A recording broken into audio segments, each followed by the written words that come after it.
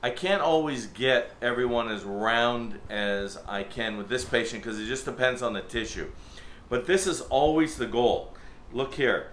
This is the point of maximal projection where I want her gluteus to be. So that's what we have. And then I want the point of maximal projection of her hip coming out here. And so that's where we have here. And that's why she's so nice and round is these two points of maximal projection, this point here and this point are on that same line. So it creates that really nice spherical round butt.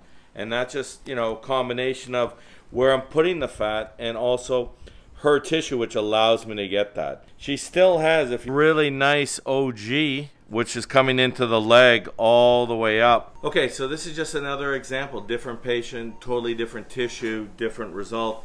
Same technique, same principles. This point of maximal projection here with this point of maximal projection here. And if I can keep these on the same line here, that allows me to get that very spherical shape. Can't always get it because there's a little difference in pelvic shape, but uh, it's always my goal. Now that's different than the Ogee. The Ogee is still here, coming all the way up, coming up all through the area up into the back. So that's how the two point of maximal projection points tie into the Ogee. These are giving you the, the roundness and the Ogee is giving you that outer shape.